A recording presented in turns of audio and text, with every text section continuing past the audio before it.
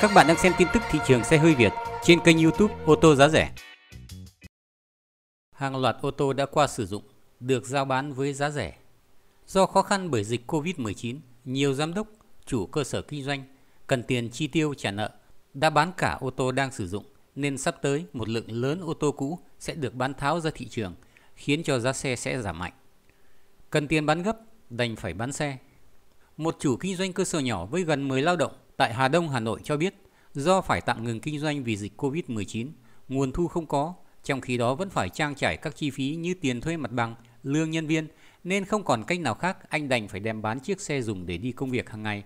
Đó là chiếc Mazda CX-5 sử dụng được gần 3 năm, đi hơn 30.000 km, vẫn còn thời gian bảo hành. Tôi giao bán với giá 750 triệu đồng, nhưng vừa rồi chỉ bán ra được có 700 triệu đồng, anh kể. Hoàn cảnh còn căng thẳng hơn với một chủ doanh nghiệp khác tại Nam Từ Liêm, Hà Nội. Thành lập công ty trong lĩnh vực xây dựng từ đầu năm 2019, đang làm thầu phụ cho một số công trình nhỏ. Có bao nhiêu tài sản đã thế chấp hết cho ngân hàng để mua máy móc thiết bị, vốn lưu động dùng để mua vật tư, ứng trước cho đối tác, chủ yếu phải đi vay nóng với lãi suất 4.000 đồng một triệu một ngày. Dù chủ đã đồng ý giảm lãi xuống còn 2.500 đồng một triệu một ngày, nhưng anh vẫn phải mang tiền trả cho họ 3 ngày một lần. Không có nguồn nào, nếu càng kéo dài càng kiệt quệ, anh quyết định bán chiếc ô tô Mitsubishi Outlander 2.4 vốn đang dùng đi cho công việc. Chiếc xe này mới mua đầu năm 2019 khi đó có giá hơn 1 tỷ đồng, xe đi hơn 10.000 km, tôi giao bán 950 triệu đồng, nhưng vừa phải bán với giá 890 triệu. Bây giờ bán xe cũ tầm tiền đó vẫn có người mua cho là may lắm rồi, anh an ủi. Chủ cửa hàng kinh doanh ô tô cũ tại đường Phạm Hùng, Cầu Giấy, Hà Nội cho biết, từ đầu tháng 4 đến nay, tuy đã ngừng kinh doanh nhưng ngày nào cũng nhận được các cuộc gọi mời mua xe cũ. Khách mua chẳng có, nhưng khách bán xe thì nhiều. Có ngày tôi nhận tới 5 cuộc gọi, hỏi có mua xe không? Những người bán xe đều đang trong hoàn cảnh khó khăn, cần tiền mặt để trang trải chi phí. Do cần tiền gấp nên giá bán cũng giảm nhiều, người chấp nhận bán giá rẻ hơn một chút để có tiền ngay.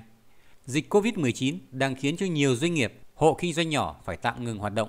Nguồn thu không có, còn người lao động thu nhập giảm. Để vượt qua giai đoạn khó khăn, nhiều tài sản sẽ được mang bán để lấy tiền mặt, thanh toán các khoản nợ và lo đời sống. Ô tô chính là tài sản đầu tiên được nhiều người mang bán khi cần tiền.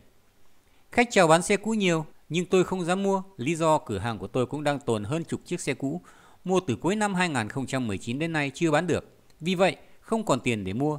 Hơn nữa với xu hướng này, sắp tới nhiều người mang cả ô tô đi bán và giá xe cũ chắc chắn sẽ còn giảm nữa. Vì vậy, không nên mua xe vào thời điểm này, chủ cửa hàng xe cũ trên đường Nguyễn Xiển Thanh Xuân Hà Nội đã khuyến cáo như vậy. Giá xe hiện nay đang giảm mạnh, Chuyên gia ô tô Nguyễn Minh Đồng cho rằng không riêng gì Việt Nam mà tại nhiều nước trên thế giới cũng có tình cảnh tương tự. Bao giờ cũng vậy, cứ kinh tế khó khăn thì tình trạng bán ô tô đang sử dụng đều tăng. Tại Mỹ và châu Âu, làn sóng bán ô tô đang sử dụng tăng nhanh là do ảnh hưởng bởi dịch Covid-19. Mới đây, Bloomberg trích chỉ dẫn của Phó Chủ tịch điều hành công ty chuyên kinh doanh xe cũ Koch Automotive tại Mỹ cho biết 6 tháng nữa sẽ có một lượng cung khủng khiếp trên thị trường xe cũ, số lượng xe bán ra sẽ dồn dập. Tình hình những tháng qua cho thấy rõ xu hướng này. Với Việt Nam, thời gian qua, kinh tế phát triển thu nhập của người dân cũng tăng lên nên nhu cầu tiêu dùng cũng tăng nhanh, trong đó không ít gia đình mua nhà, ô tô, đồ gia dụng dưới dạng trả góp. Tuy nhiên, khi đối mặt với dịch bệnh, cuộc sống khó khăn, các nguồn thu bị cắt giảm không còn khả năng trả nợ nữa, nhiều tài sản trong đó có ô tô sẽ bị bán đi, thậm chí do không có khả năng trả nợ nên các ngân hàng thu hồi để bán sẽ khiến cho nguồn cung xe cũ sẽ tăng lên mạnh. Dự báo của giới kinh doanh xe cũ cho thấy số lượng xe bán ra nhiều thì giá sẽ giảm mạnh. Nếu dịch bệnh còn kéo dài và hoạt động kinh doanh không trở lại bình thường thì tới tháng 6 năm 2020, số lượng xe cũ bán ra sẽ tăng và giá sẽ giảm. Không những thế, sức ép với xe cũ còn đến từ chính sách kích cầu của chính phủ do dành cho xe mới. Nếu lệ phí trước bạ cho ô tô mới sản xuất lắp ráp trong nước và thuế giá trị gia tăng giảm 50% sẽ giúp cho khách hàng mua xe hưởng lợi từ hàng chục cho đến hàng trăm triệu đồng, càng khiến cho xe cũ phải đại hạ giá mới bán được. Trong khi đó, thị trường xe cũ đang ế ẩm, giá xe giảm mạnh mà không có người mua bởi xe mới liên tục hạ giá. Phân khúc ô tô có tầm giá từ 500 đến 700 triệu đồng hiện nay được nhiều khách hàng Việt Nam quan tâm và lựa chọn. Từ giữa năm 2019 đến nay, hàng loạt mẫu xe mới thi nhau giảm giá, khiến cho khách hàng không màng tới xe cũ.